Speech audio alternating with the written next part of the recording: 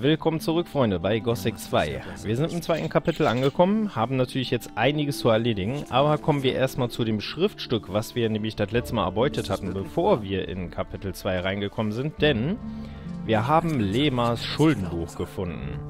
Und ich habe mir das natürlich mal eben kurz offscreen angeguckt, wem es denn am besten wäre, das Buch zu geben.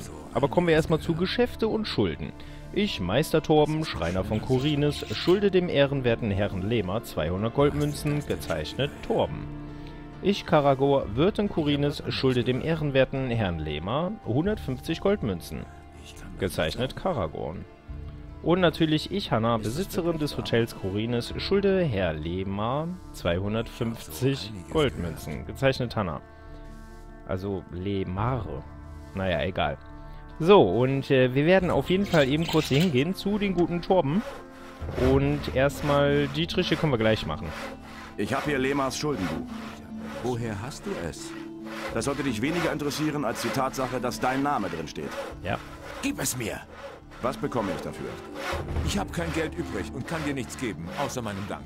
Oh, ist aber schade. Aber wir haben die Erfahrung bekommen. Kannst du mir Dietriche verkaufen? Wenn ich noch welche habe? Ja, hast du doch bestimmt. Wir sind in Kapitel 2.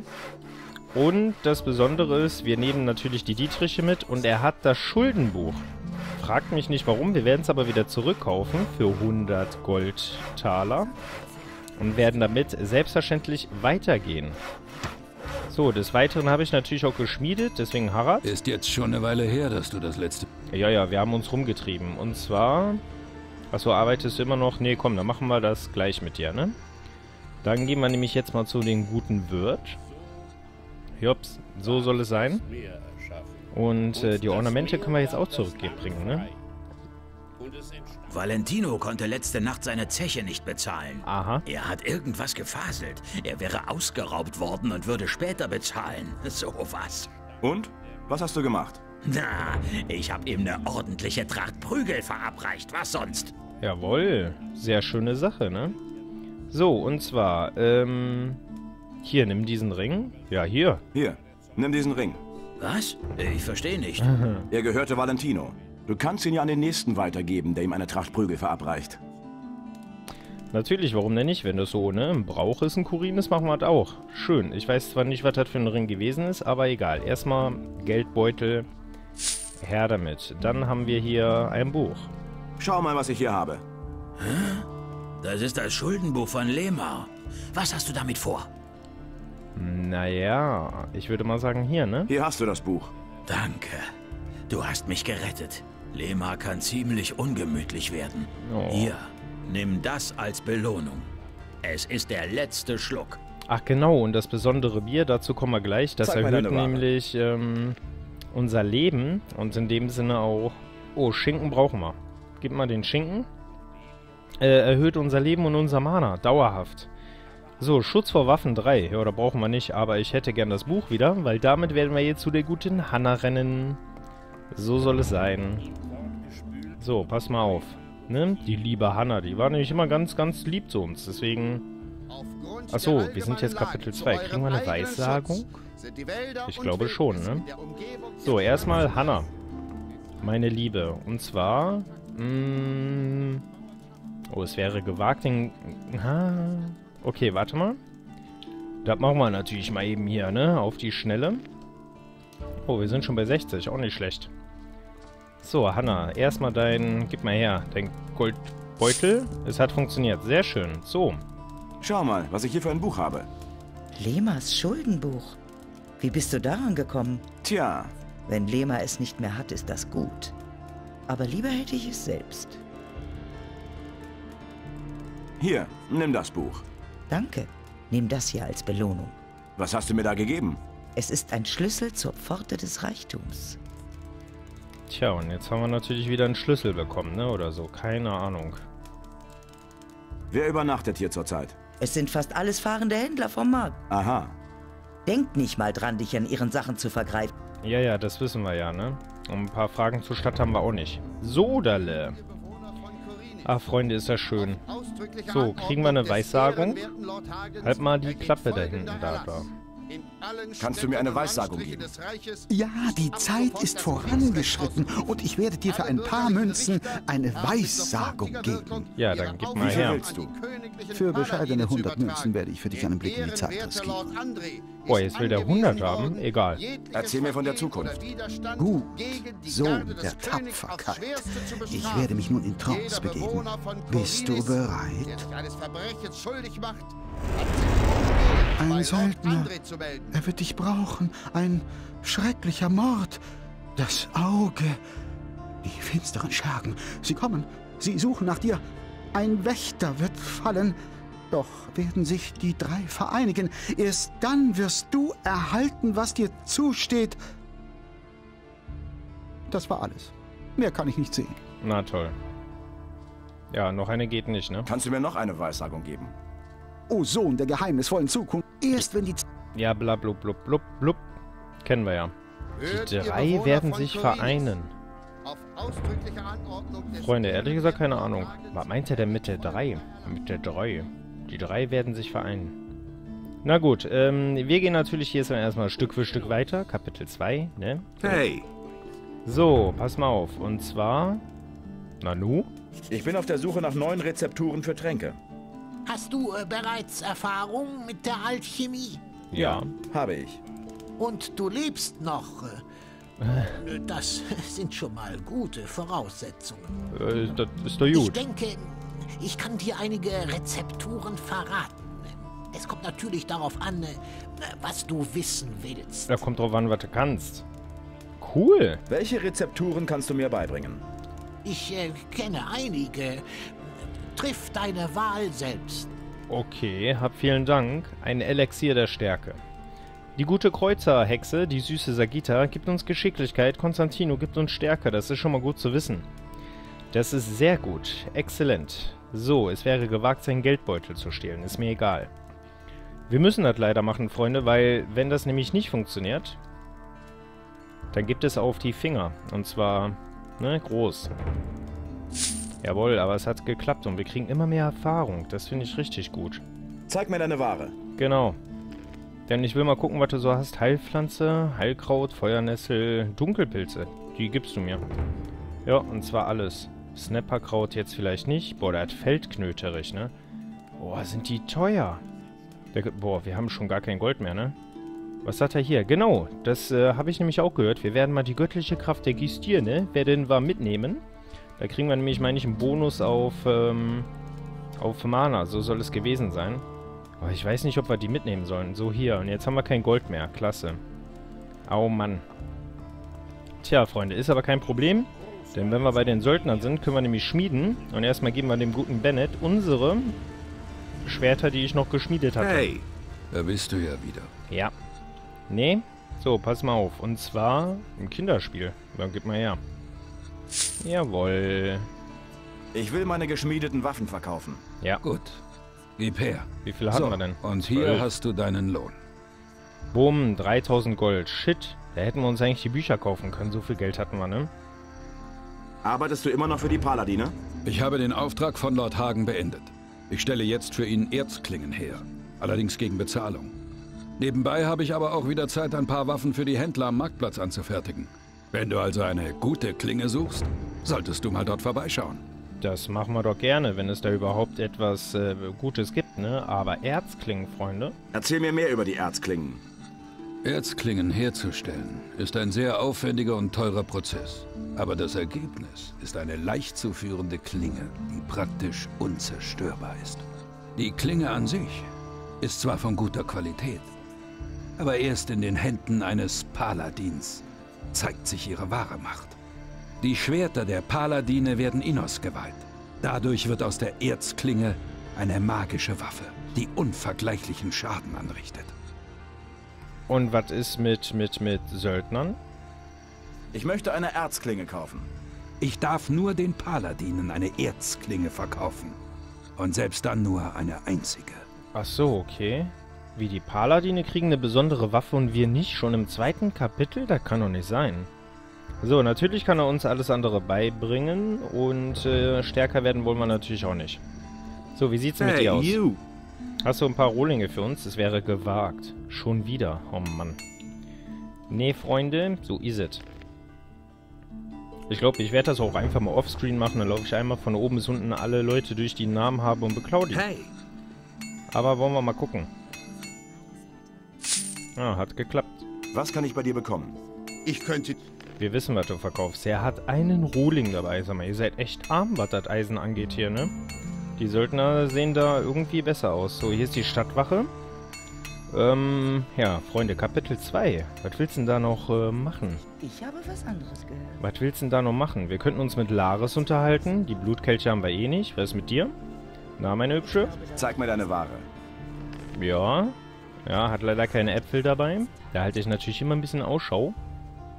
Hm. Na gut, also Laris, pass auf. Ich Hey, you. Nee. Die verschwundenen Leute haben wir doch fertig. Wegen der verschwundenen Leute. Ach so. Ich weiß, wo die vermissten Leute geblieben sind. ach, Der ehemalige Erzbaron Raven hat sie verschleppen lassen. bist du sicher? Dann müssen wir sie da rausholen. Ich arbeite dran. Na gut, aber du weißt ja, wenn du meine Hilfe gebrauchen kannst. Dann weiß ich, wo ich dich finde. Schon klar. Gut, haben wir das nämlich dann auch schon mal erledigt. Ja, was beibringen brauchen wir eigentlich nicht. Das heißt, wir könnten... Können wir uns den Wassermagiern anschließen? Vielleicht können wir uns den Wassermagiern anschließen. Aber erstmal gucke ich mal eben kurz in unserem Questjournal. Was haben wir denn noch? Ja, die Beweise, Blutkelche, Snapperkrallen, wie auch immer wir da an irgendwelche besondere drankommen sollen. Teleportersteine machen wir jetzt gleich auch. Ach genau, die goldene Schale. Freunde, ich hab's total vergessen. Wir laufen die ganze Zeit mit der Schale rum und ich habe vergessen, wem die Schale gehört. Aber jetzt passt mal auf. Der ist doch nichts anderes als er hier, ne? So, pass auf. Und zwar, es wäre gewagt, seinen Schlüssel zu stehlen. Oh, wir hatten ja gespeichert, ne? Gib mal her hier.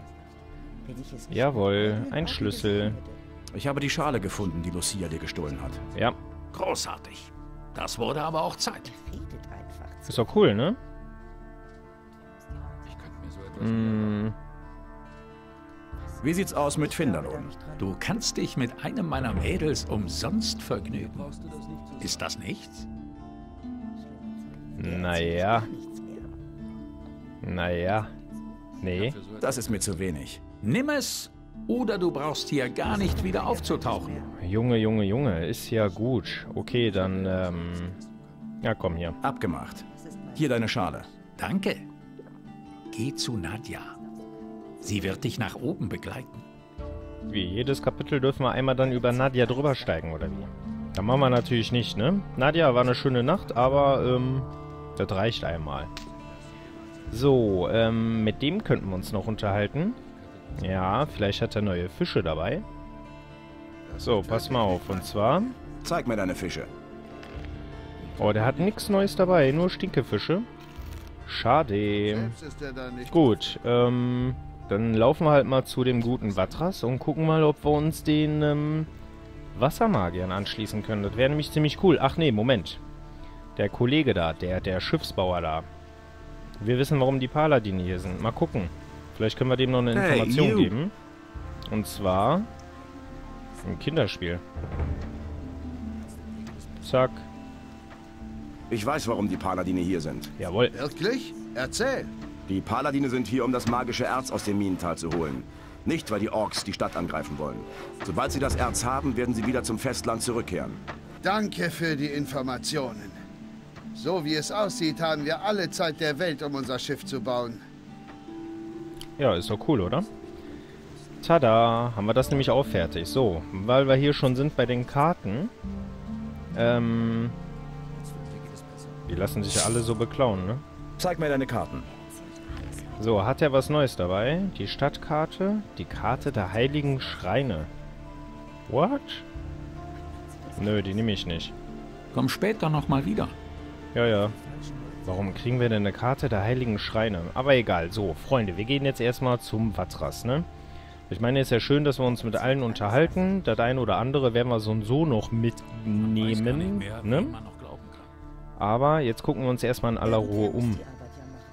Wir müssen nämlich so und so noch zum Marktplatz, aber ich will jetzt wissen, ob wir Wassermagier werden können.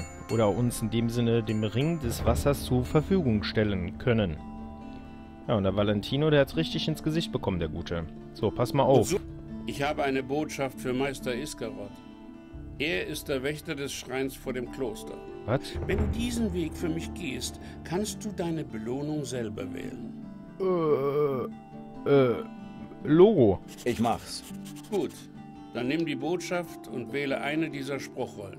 Wenn du die Botschaft überbracht hast, werde ich dich angemessen entlohnen. Okay, wir kriegen jetzt, äh, ich wähle die Heilung. Lichtzauber brauchen wir nicht, dafür gibt's Fackeln und Eisfeld ist eh blöd. Ich wähle die Heilung. Gut. Dann mach dich nun auf den Weg zu Meister Iskarot. Ja, der Iskarot ist doch vor dem Kloster, ne? Das wissen wir doch. Eieiei. So, hier. Ich habe noch eine Steintafel für dich. Ja. Gut. Hier, nimm ein paar Tränke als Belohnung. So, und jetzt pass mal auf, mein Guter. Jetzt gehen wir erstmal auf Meer. Ähm, kannst du mich heilen über die Götter, magische Kraft steigern, Adanos spenden? So, jetzt aber. Ich bin bereit, mich dem Ring des Wassers anzuschließen. Dann hast du Lord Hagen deine Nachricht gebracht? Jo. Ja, aber er hat mich ins Minental geschickt, um einen Beweis für meine Worte zu bringen. Du musst entscheiden, was du als nächstes tun willst. Mir war nur wichtig, dass er die Nachricht erhalten hat. Jetzt liegt es an ihm zu handeln oder auf deinen Beweis zu warten. Was dich betrifft, du hast bewiesen, dass du unverzichtbar für uns bist. Du sollst zu unseren Kindern gehören und in unserem Namen in die Welt hinausgehen, um Adanos Wille zu vollbringen. Ich übergebe dir deinen Ring des Wassers. Möge er dir dienen, deine Verbündeten zu finden und mit ihnen gemeinsam das Gleichgewicht dieser Welt zu erhalten. Adanos möge dich schützen. Geh nun hin und triff dich mit deinen Brüdern. Sie werden dich in der Taverne zur toten Harpie erwarten und dich in unsere Gemeinschaft aufnehmen. Aha. Die Taverne wirst du kennen. Sie liegt auf dem Weg zu Onas Hof. Ja, Vergiss ja. nicht, deinen Ring zu tragen, damit deine Brüder dich als einen der ihren erkennen. Ach so, ach so ist das, ja. Okay, das heißt, wir gehören jetzt dazu.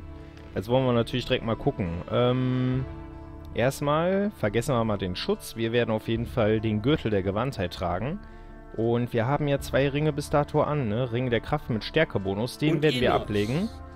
Und In Weisheit ja, der Ring gehört mir, jawohl. Jetzt gehören wir zum Ring des Wassers. Ne? Für, für Adanos. Damit könnten wir eigentlich direkt mal zu Laris gehen. eine Qual für Belia. Oder gehört hier noch jemand dazu? Der Kavalorn. Kavalorn. Bist du noch hier? Jawohl. von Belia zerstört. So, ach hier. Ich habe das fehlende Ornament von Lord Hagen bekommen. Genial. Siehst du, Adanos hatte ich mir doch gedacht, dass die Paladines dass hatten. so nichts sein konnte. Kein Licht und keine Dunkelheit. Oh, 44 Gegenstände erhalten und Fähigkeiten erlernen. Ja Und gut, so der stellte hat das anscheinend äh, mitbekommen, ne? Um So, dann gehen wir mal runter zu dem guten Laris. Da bin ich ja mal gespannt, was der sagt, weil wir tragen ja jetzt den Ring schon.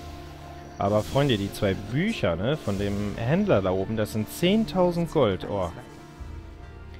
Da müssen wir uns einige Male schlafen legen, wenn wir bei den Söldnern sind, ne? Weil ich meine, der hat immer nur, wenn wir uns einmal schlafen legen, hat der Bennett irgendwie Eisen für uns dabei, weil die Bücher, die will ich unbedingt haben. you! Aber wir haben auch eigentlich noch genug äh, Schätze, ne? Ah ja, Hier ist ein Aquamarinring. genau. Da hast du ja noch mal Glück gehabt. Ich dachte schon, du hättest ihn verloren. No. Nee, um Gottes Willen. Genau. Ich gehöre jetzt zum Ring des Wassers. Jetzt willst du sicher deine Ausrüstung haben. Gut, pass auf. Hä? Wir haben bald ein geheimes Treffen in Orlands Taverne. Komm, sobald du kannst, dorthin. Wir werden dir deine Ausrüstung dort aushändigen. Okay. Wow. Coole Sache. Das ist ja mal eine coole Sache. Ja, dann ähm, wissen wir ja, was wir machen müssen, ne? Zu den Magiern will ich so und so auch noch. Klare Sache, Freunde. Aber die Bücher, die gehen mir jetzt gerade nicht mehr aus dem Kopf. Wir haben natürlich extrem viel Kram dabei, aber da will ich euch nicht mit langweilen. Da werden wir... Ich werde, glaube ich, unseren ganzen Kram, den wir haben, mal offscreen verkaufen und mal gucken, wie viel Gold wir dann eigentlich haben. Ich meine, wir sind ja jetzt eh Richtung Händler unterwegs. Und bis dato hat ja alles so ziemlich gut geklappt, muss man so sagen. Jetzt unterhalten wir uns natürlich mit den restlichen Leuten. hier. you! So, gibt's bei dir was Neues? Äh, nö, gibt's natürlich nicht, ne? Der Wirt hat, meine ich, so und so nix. Obwohl, können wir dich beklauen? Hey, komm dir nach. Ja, ja, ja, ja, ja, ja, ja. Wissen wir ja, ne? So, was mit euch hier? Na, Ulf, wie ist es? Einfach, gib her. Jawohl, zack. Ende im Gelände. So. Rengar, ähm, einfach seinen Schlüssel zu stehlen. Nochmal Turmschlüssel erhalten. Ja, willst du noch ein Bier? Kriegst aber nicht. Mein Bier. Tja, das freut mich doch. Jetzt gehen wir... Komm, gehen wir mal eben kurz hoch. Wer weiß, ob wir hier irgendwas Schönes haben. Lalala. Mal gucken, was der Lord André so zu sagen hat, ne? So, was ist mit dir? Alles klar. Es wäre gewagt, seinen Geldbeutel zu stehlen. Ja, ja, ja. Genauso etwas dachte ich mir nämlich schon. So, hallo Lord André, wie ist es dir denn, ne? Wir haben nämlich... Oh, wegen der Diebesgilde. Wir können die Diebesgilde hier verpfeifen. Das mache ich aber nicht. Das will ich nicht. Das Kopfgeld? Ich will das Kopfgeld für einen Verbrecher kassieren. Wen haben wir denn? Ich komme später wieder. Wir haben gar keinen. Alles klar. Ja, dann hier. Wie ist die Lage in der Stadt? Alles unter Kontrolle. Aha. Ja, mehr gibt es nicht. Und die Diebesgilde, die werden wir nicht verpfeifen. Nö. Ich mag die eigentlich. Und solange wir noch die ähm, Aufgabe offen haben mit den Blutkelchen, werde ich einen Teufel tun. Aber Freunde, das soll es mal wieder fürs Erste gewesen sein. Und wir sehen uns dann das nächste Mal wieder. Bis dahin.